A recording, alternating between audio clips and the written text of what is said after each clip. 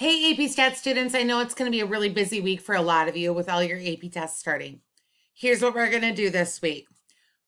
Our last unit we're covering this week, I'm going to try to break it up into something small every day rather than two video, two really long videos.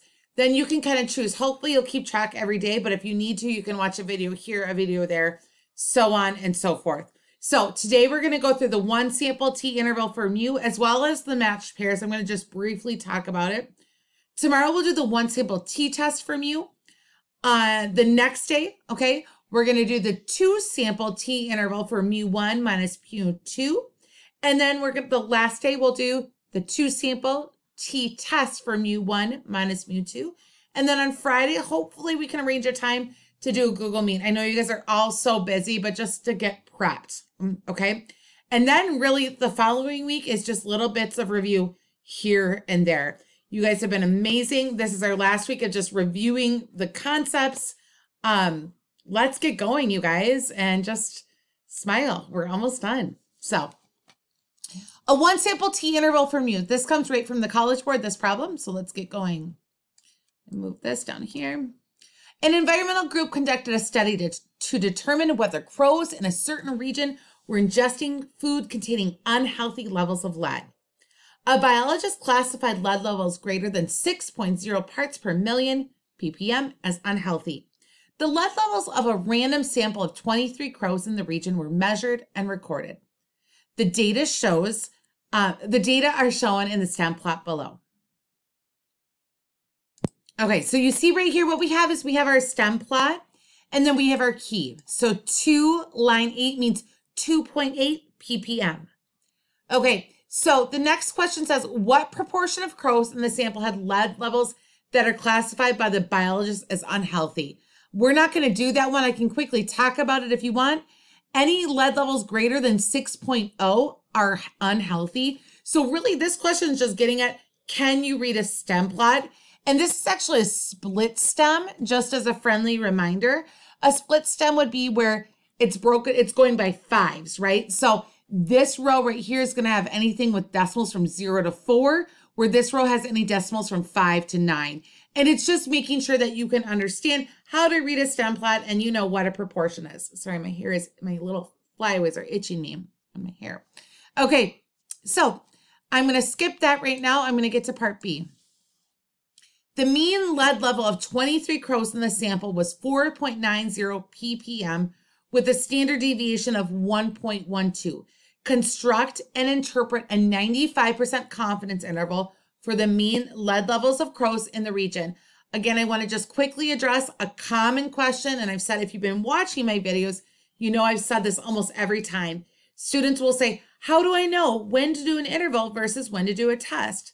Fair question. Read the question. It will state implicitly, construct a confidence interval. If it's just asking for, do we have significant evidence or do we have evidence? And they don't say interval in there, you are doing a test. You're doing ZOMs or TOMs. Okay, let's get going to the state plan do conclude.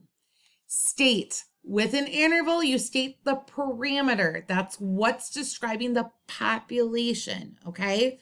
We are not doing proportions anymore. How do we know if we're doing a proportion, a Z versus a T? A proportion is for categorical variable, okay? That means we're doing a Z. A mean is for quantitative variables. That means we're dealing with a T, and oftentimes you'll see somewhere in there where it will say something about a mean, where they tell us right here, the mean lead level. We're doing a T, okay? So if they're gonna say mean, we're gonna use a mu, not P. State mu. Mu equals the true mean lead levels of crows in the region. How would this change if the problem was different? For the state, for an interval, when we're dealing with a T, you're always going to say mu is equal to the true mean, and then you're going to fill in the blank here. What's the question about? Okay. Next, we're going to go with the plan. Okay. Now, if I'm, I'm trying to talk slow, I'm talking fast in these videos. I know I'm trying to talk a little bit slower. Make sure you guys are pausing, rewinding, so on and so forth. and feel free to email me with any feedback that you might have. Okay, the plan, we're gonna RIN, we're going on a RIN. Do we have a random sample? And I believe it's stated in here that we have a random sample of 23 crows. So we're gonna put that right there. I, that's still your 10 times N has to be less than capital N. You should have that down in your notes already. 10 times 23 has to be less than all crows in the region, really, I should have put. So 10, I'm using my cursor here, so forgive me, times little n, our sample size, has to be less than our population size. That's our independence right there, okay? Then finally our n, this is where some people make mistakes. We're not doing a proportion, so we are not doing NP is greater than or equal to 10 and N times 1 minus P is greater than or equal to 10. We are doing that N has to be greater than or equal to 30. Where does that 30 come from? That 30 comes from the central limit theorem.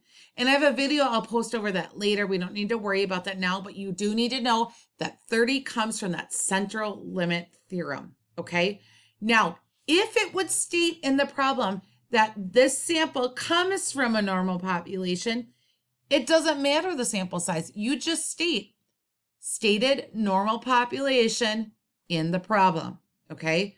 It doesn't state that here though, and we do have an issue.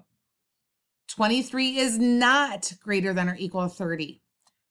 So what happens when something's not greater than or equal to 30? You have to graph it. And I am guessing, I'm putting my money on it that the AP is going to give you a graph, either a box plot or a stem and leaf plot or a histogram, something just like they did in this problem. Because they really want to know essentially that you really know the big picture and not just a little graph. Now, that doesn't mean they're not going to have you graph, okay? They may have you part A graph and then down in part C, right? You're running a test. I don't know because the year 2020 is a weird one, okay? And we're all we're all doing our best here to kind of like guess what one problem will be because it's only two questions, right? So it could be all connected where you do have to graph it, but you would have graphed it in graph in part A and described it maybe using SOCS. So again, because reviewing for a test is a marathon, not a sprint, let's just quickly look at this. If we graph this and they ask to describe it, remember shape, outlier, center, spread. Do not put S bullet symmetric O bullet, none. Talk about it in context. The shape of the lead levels in crows is symmetric, right? Take that away. Okay, with no apparent outliers. The center seems to be around, you know, anywhere from 4.6 to 5.9. Okay, the spread right now goes from 6.8 to 2.8, we subtract that, that's 4.0. That's our range. That's just a general definition. Okay, we just rewound to review a little bit because that's important. Now let's go back to that interval. So we stated, right? We are RINing. Now, 23 is greater than is not greater than or equal to 30. We should graph it. We've already graphed it or you are given the graph. The graph is symmetric with no outliers. What do you need? Remember in class, we talked about a medium sample versus a small sample. If the sample's anywhere between 15 and 30, that's considered a medium sample. We don't say that on the test like it's a medium sample. But what that means is if there's some skew, that's okay. There just can't be any outliers. And then anything less than 15, that's considered a small sample. And you really want that to be mostly symmetric. Again, no outliers. We're perfect here. This is really symmetric with no outliers. So we have to state that here. The graph above is symmetric with no outliers. Okay, quick recap because I brought some review in there. For this problem, for an interval, the plan, you need an R, random. I, independence, 10N is less than capital N. And then you need that normal condition N, your sample size has to be greater than or equal to 30. If it's not, you have to graph it, okay?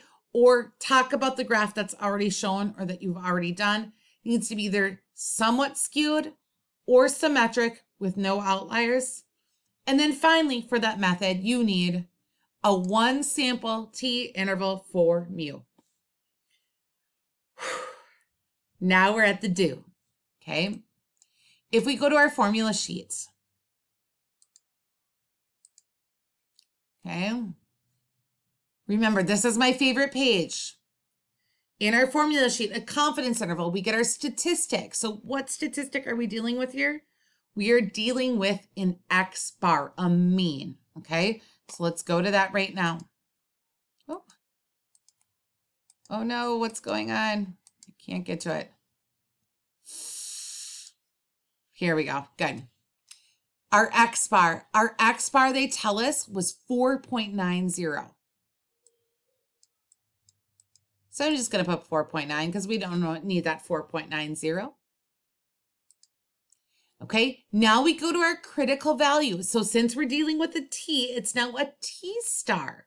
Okay, friendly reminder for a T star, you need your degrees of freedom. Oh, my handwriting's so terrible with this, you guys. Degrees of freedom is n minus 1. So in this case, we have an n of 23. So 23 minus 1 is 22. So right now, let me show you how to get that T star. Okay, so I had my statistic, that critical value. We're dealing with a T, not a Z. Okay, Z is for proportions. T star, our critical value, we get it with our degrees of freedom. So we scroll down to table B. Okay, infinite right there, that is your Z stars. Here are our T stars when we're dealing with our degrees of freedom. Our oh gosh what was it? Sorry guys. Our degrees of freedom are 22 i already forgot. If that was 23 i just want to make sure i did it right for you guys. 22 i go to the 22 let's make this a little bigger. Okay? I go to 22 that's right here i go to 95% right here it intersects right there at 2.074. Okay, 2.074. So plus or minus 2.074. Okay, now I'm going to go back to my formula sheet. I'm going to go back to my favorite page. I see I have my statistic. Whoops, went a little too fast. I have my statistic, my X bar plus or minus my T star, right? Times the standard deviation of the statistic. Now, this time it's technically the standard error, but that's okay because we're estimating what it is based off that standard deviation of the sample. We say to ourselves, is it a single sample or is it a two sample? We have a one sample, a single sample. We're dealing with a mean. So my formula is right here. Okay. So I'm going to go, I'm going to hit down. I take my standard deviation that they gave me divided by the square root of n. Times, oops, the standard deviation they gave me was 1.12 divided by the square root of n, and n is equal to 23. Now, if you have if you don't have a graphing calculator, you're going to have to calculate this by hand. So you would take 4.9 minus, this is my margin of error right here, this part, minus my margin of error, and 4.9 plus my margin of error. But if we have our graphing calculator, we can become one with that graphing calculator and plug it in there. Friendly reminder though, guys, you must show work. Many of you, as you're submitting your problems, you're just giving me a lower bound and an upper bound. That's not good enough, you guys. We're striving for a five. We're showing our work. We're taking our time, keeping conscious of how much time we're taking, but showing that work and really knowing our stuff. So let's go to the graphing calculator. I'm going to go to stat. I'm going to arrow over to tests, and I'm doing a T interval, and that's number eight. So I can just hit eight. I do not have data. What is data? Data is where you have a list of numbers that you had to put into L1. Just a friendly reminder how you get to L1, stat, edit, and you would put that list in L1. But that's not the list we care about right now. We have statistics. They gave us a mean, they gave us a standard deviation. So I'm going to go back to T interval. I'm going to go to stats. I'm going to hit enter. I have a statistic there, my mean of 4.9. Give me a second. I have a standard deviation right here of 1.12. And I have a sample size of 23. And I'm calculating a 95% confidence interval, so 0.95. And now this is so fancy. I love it. I am going to um, pull this here. Give me a second. I'm going to X this out. I need to make it smaller. Okay, so there's my interval, you guys. That's my lower bound, that's my upper bound, and that gives us plausible values for the truth about the population, okay? And we're 95% confident in that. Friendly reminder, watch the videos from last week. What does the confidence level mean? Interpret it. What is a p-value? That was all in those um, videos last week. I'm not going to re-go through that. So what am I going to do? I'm going to write those values down in my do part.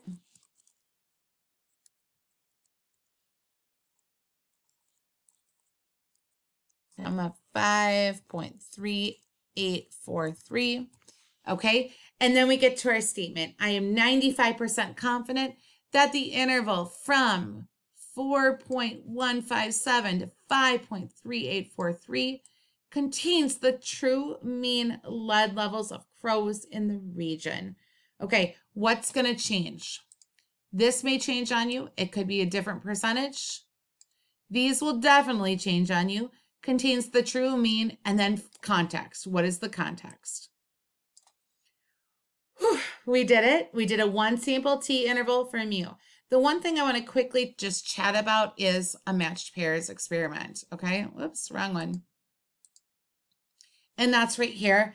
Um, I just want to talk about, you know, what do you do and what changes, and really not a whole lot changes. Okay.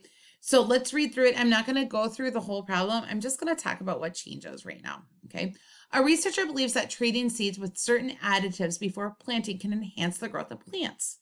An experiment to investigate this is conducted in a greenhouse from a large number of Roma tomato seeds. 24 seeds are randomly chosen and two are assigned to each of 12 containers. One of the two seeds is randomly selected and treated with the additive. The other seed serves as a control. Both seeds are then planted in the same container. The growth in centimeters of each of the 24 plants is measured after 30 days. These data were used to generate the, uh, the partial computer output shown below. Graphical displays indicate the assumption of normality is not unreasonable. What that means is when we graphed the difference, it was symmetric enough. So they're stating that so you can state that in your conditions. I need to pause real quick. I'll be right back. You shouldn't see anything different in the video. Okay, sorry, my daughter came in, so I had to pause for a second. So we're going to construct a confidence interval for the mean difference in growth in centimeters of the plants from the untreated and treated seeds. Be sure to interpret this interval. All that means is go through everything. It doesn't say interpret the level, so you want to be really clear about that. I really believe it would say interpret the level in like a part B or a part C. Interpreting the interval is just the conclude. So that's really important to note. Okay. So I'm going to just talk through some of it. I'll write down some of it. The state now. Okay. That would be the true mean difference in growth in centimeters of the plants from the untreated and treated seeds. Often the state will come right from the problem. You can you can get the word right there if you're struggling with context. Okay. State done. Check. Now we're on to the plan. We're going to RIN. The big thing here, though, is it is an experiment. Okay, so what is going on? What we have is the 12 containers are actually what's being sampled, and they're getting both treatments, right? There's 24 seeds. They're getting one with the additive and one without the additive, okay? Um, because that was the control. So what you would say is you would say random assignment, right, of the 24 seeds, okay, means that the individuals are independent, right? The containers are independent, as well as the groups are independent of each other. Okay. So you don't go and say a randomly whatever, because it's saying those 24 seeds are randomly put into those 12 pots based off if it's an additive or not. So again, when it's an experiment, random assignment means those groups are independent of each other as well as each container. What happens there is independent of each other. I talked about this last week more in depth. Let me know if you have any more questions. Okay. And then you do have to say the sample size is greater than or equal to 30. Well, the sample size is 12. Why is the sample size 12? Because we're looking at 12 containers and we're looking at the difference in those 12 containers. So that's right here. That is not greater than or equal to 30. That 30 friendly reminder comes from the central limit theorem. So we need to graph it. Well, we don't have the data to graph it, but they state in there that it does say normality. So you would have to state 12 is not greater than or equal to 30, but it is stated that there is a, an assumption of normality that is not unreasonable. Okay. We just rinned. Now we have a one sample T interval for matched pairs. Again, how do I know it's matched pairs? Those containers, they got both treatments. All right, moving on. Then we would go on to the do. We have our mean. So I'll write this part down negative 2.015 plus or minus, okay? Plus or minus the T star. So I'm doing a degrees of freedom of 11. It wants a what? 95% confidence interval? Does it say? Oh dear. It does not state. Okay, so we're going to just assume that if it doesn't state, we're going to assume that we're going to go to, whoopsie, um, we're going to assume we're going to go to 95%. 95% confidence with 11 degrees of freedom. We're going to table B. 11 is right here, right? 95% is right here. 2.201. sorry guys, my computer's being funny. 2.201 times the standard deviation, 1.163, divided by the square root of 12. That's the work you have to show. No, I'm going to go to my calculator. I'm going to go plug this in because I want to talk about part B. That's the most important part here, in my opinion. Okay. Other than the matched pairs part of it. T intervals eight. Now, again, if you don't have a calculator, a graphing calculator, you're going to have to graph or calculate this by hand. So my mean is 2.015, and that's a negative. So negative. Wah negative 2.015. I don't care about the T star. I care about the standard deviation, which is 1.163. I have my standard or my sample size of 12 and a confidence level of 95%. I'm going to hit enter. And there we go, my fanciness. I love that part. Okay, so that conclude, that would be I am 95% confident, right, that the true mean difference in growth in centimeters of the plants from the untreated and treated seeds is contained in the interval from negative 2.754 to negative 1.276, okay?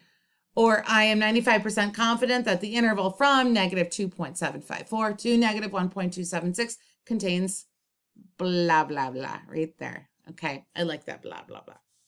Um, what I really want to talk about is just that follow up question there. And that is based on the confidence interval in part A, is there sufficient evidence to conclude there's a significant mean difference in growth of the plants from untreated seeds and the plants from treated seeds? Justify your conclusion. What you're stating here is they're just asking you that follow up question of, hey, can you interpret that zero is not in the interval? Okay. If zero is not in the interval, you have evidence that there's a difference. Now, what is AP looking for? AP is looking for that you can state that, hey, we don't have sufficient evidence. Use their words, you guys, to help you with the context. We don't have sufficient evidence to conclude that there's, rewind, I'm sorry, we do have sufficient evidence to conclude that there is a significant mean difference in growth of plants from untreated seeds and the plants from treat, treated seeds. So we do have sufficient evidence. Why? Because zero is not in our 95% confidence interval. So that's what the College Board is looking for. And I will type that out because I know some, I know some of you and I know you're going to want that. Forgive me, I got ahead of myself. Our last one is we didn't have sufficient evidence last week. So I was just getting ahead of myself here. So I'm going to type that out for you guys. Okay. So I'm going to say um, there is sufficient evidence to conclude that there is a significant mean difference in growth of the plants from untreated and the plants from treated seeds because zero is in my 95% is not, I'm sorry, I'm botching it.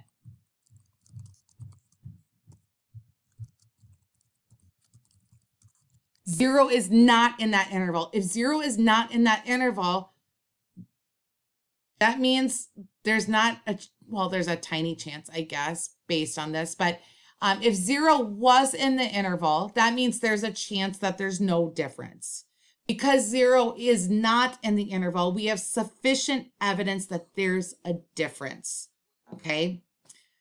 Sorry, guys, it's getting late right now. I've been wor working overtime, um, which is okay because I love it, but and I get ahead of myself sometimes. So just a quick review on this one. Why is it a matched pairs? It's a matched pairs because they got both treatments.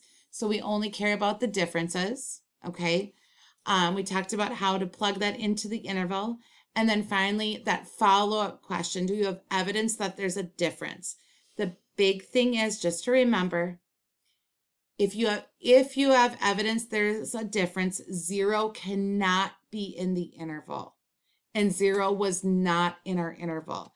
And the big thing the College Board is going to look for is you need to say, Zero is not in my 95% confidence interval.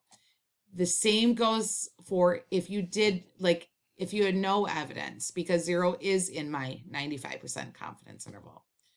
Forgive me, like I said, it's late. Uh, I've been working overtime, it feels like, which is okay. Um, I love teaching and I miss you guys so much. And I hope all is well and good luck with all your AP tests this week. Um, I know you guys can do it with positive attitude, lots of sleep, and just um, hanging in there, you guys. Eat a good breakfast, good lunch, so on and so forth. Take care.